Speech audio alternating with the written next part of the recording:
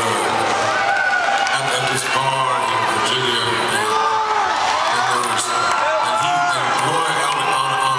rare occasion, liked to drink a little bit, and, uh, and, I remember that, and I remember that, that he'd had quite a bit, he and so he had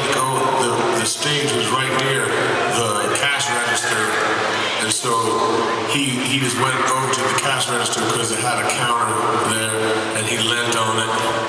because he wasn't because standing had become somewhat of a chore, and so. and he, he sort of just leaned up against God's elbows free, and he played the most beautiful version of Somewhere Over the Rainbow I ever heard in my whole